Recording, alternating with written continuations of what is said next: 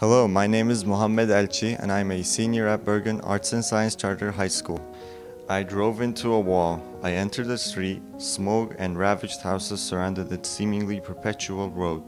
Too dangerous to turn back, I continued driving in search of safety. Then, suddenly, a large wall appeared ahead.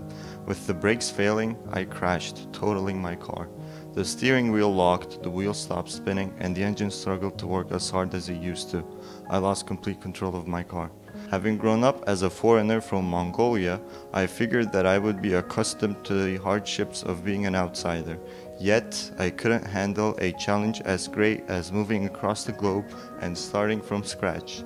Working countless hours beside my father, I was solely living to survive. However, as the transition completed and my family members could finally chase their dreams, I couldn't. I did not know what to do.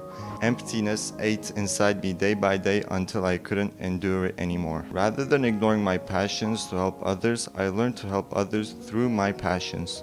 I'm proud of the achievements made through this mindset, such as creating an environmental advocacy club and I hope to accomplish many more in the future. Appreciating and having learned to make use with what I have, I am finally at peace with myself. I am not letting challenges impact me as severely as they used to, and I feel like I have entered heaven.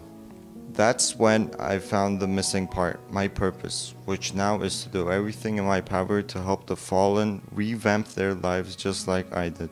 Through these events, I learned to make peace with myself and the world, for we only have one chance to utilize both to their full potential.